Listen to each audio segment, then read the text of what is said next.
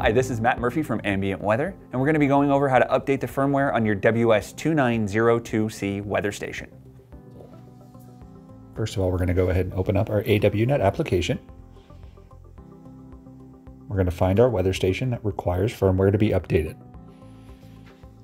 Then click on it where it says new firmware. It'll let us know exactly what it is updating in the firmware. Click OK, and we will confirm again and it will proceed through the download and the update process.